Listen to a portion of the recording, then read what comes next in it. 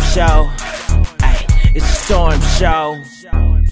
Goes unpunished, and you got your family together, so keep pushing forward. And don't be petty by posting a bunch of family pictures without that girl in it. Don't act like she didn't exist. And call her on her birthdays and holidays, you Andy shit.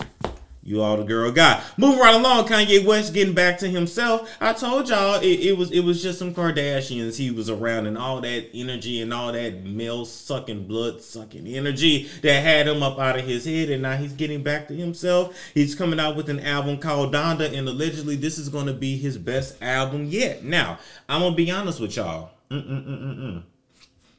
I went back and looked and I think honestly, my favorite albums from Kanye is when he is going through some kind of trauma or controversy in his life. My dark, my beautiful dark twisted fantasy was awesome, my kind of shit. And 808 and Heartbreaks, and he had just uh, broke off like an 18th month engagement from Alex Phifer, that black girl that he should have married. He has to still be married today, but anyway, he had just went through that and gave us the best music. I hate to say it, but these artists give us their best when they're hurt and when they're in a bad place. Mary J. Blige, didn't nobody care when she got happy? When she was fine, fine, fine, fine, fine, fine. Ooh, y'all didn't care.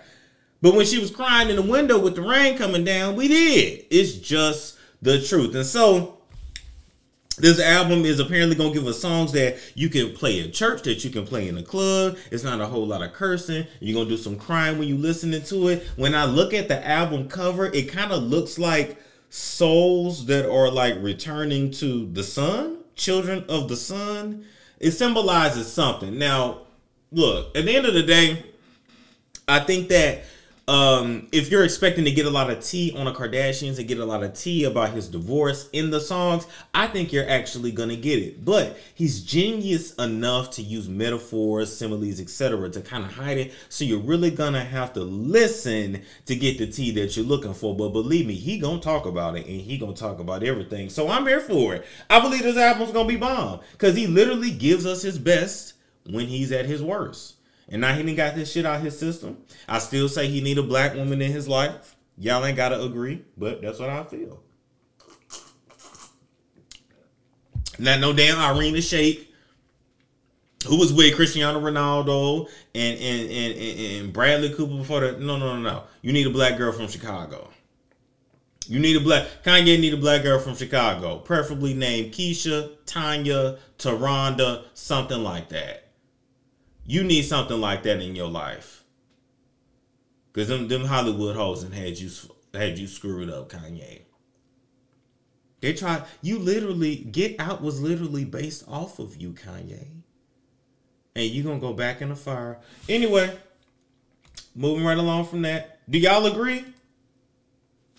Do y'all agree? I'm just saying. Right. Don't forget his first album. He wrote that when he was recovering from his accident. Exactly. When he going through his mouth is wired like mine is wired, not literally, but still. Whenever he's going through something, he gives us his best. He really, really does. He needs a therapist. He needs a black woman. He needs a black woman. Period. Keisha, Taronda, Salida, Sarisha, something like that.